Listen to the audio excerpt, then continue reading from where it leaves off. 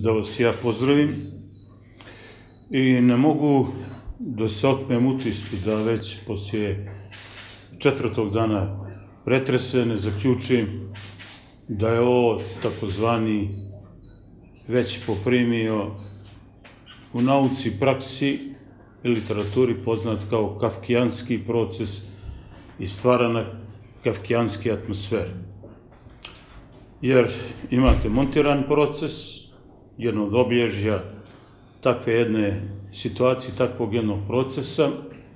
Imate pokušaj pojedinca da bude slab u odnosu na sistem, u odnosu na državu, pokušaj sijanje straha i ono što već pokazuje izvjesnost, a što su više prilika izjavili vrh ovoga režima, počev od Milo Đukanovića, Duška Markovića pa i dalje, da je već takozvana presjednica sudskog savjeta donijela odluku i presudila.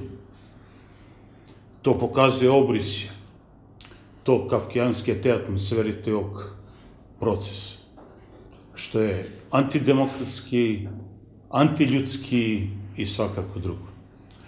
Ovaj proces poslije četiri dana pretresa već i pokazuje da on ne počiva na osnovnim načelima prava i pravne države, a to su prije svega nezavisno sudstvo i legitimnost procesa, to je poštovanje zakona.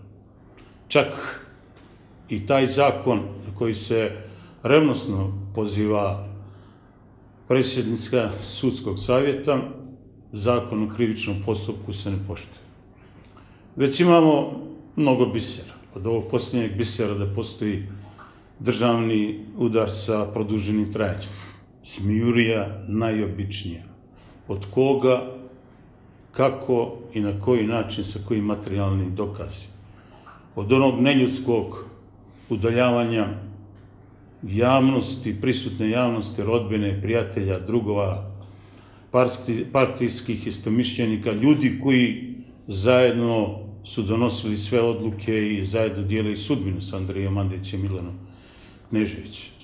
Do onoga da se ne može ni doznati da li je taj čovjek koji je bačao koktele, prešao i granicu. Onog sufliranja i mnogo čega drugog.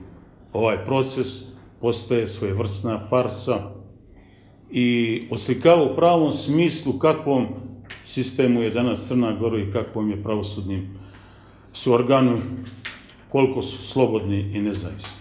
U ovom momentu, imajući u vidu zakon o krivičnom postupku, može da reaguje presjednica Vrhovnog suda i može da reaguje državni tužioci, državno tužilaštvo. Koliko ne reaguju, onda oni samo potvrđuju da su dio ove zatočene grupe koje komanduje Milo Đukanović, Duško Marković i ostala oligarhije i ostali vrh režima. Jedno je jasno, da bez promjene ovog režima i bez promjene vlasti nema demokratskog početka. Jedno je jasno, da nema uistinu slobodnog pravosuđa bez izbora i reizbora svih sudija, bez lustracije i njihove odgovornosti. Nadam se da nećemo dugo čekati na tome.